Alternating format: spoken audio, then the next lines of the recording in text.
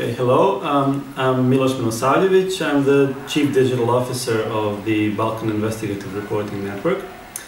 And I'm in charge uh, of the organization's digital strategy and uh, website and uh, social channels, and basically all things digital in BIRN.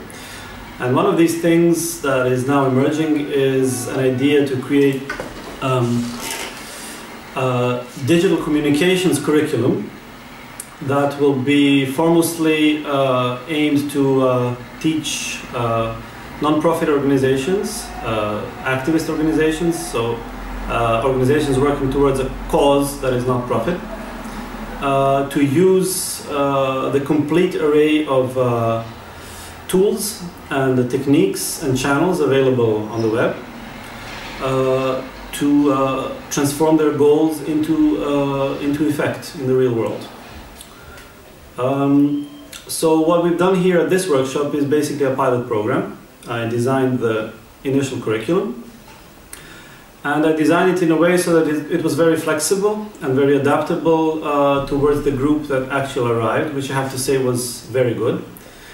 Um, and uh, basically, uh, this workshop uh, taught people, uh, as I said, uh, how to, uh, when they define their organizational goals, uh, plan the content um, and uh, the things they're going to put on the web uh, and on their social networks, uh, how they're going to reach and identify their target audiences on the web, and finally how they're going to create followers and backers and people who actually do something in real life based on everything that uh, an organization uh, puts online.